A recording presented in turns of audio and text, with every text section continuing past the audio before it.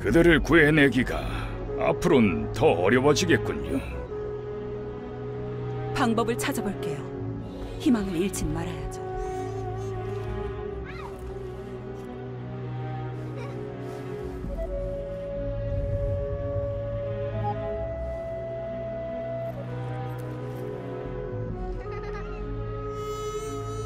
어, 저 친구에겐 내가 잘 설명하겠습니다.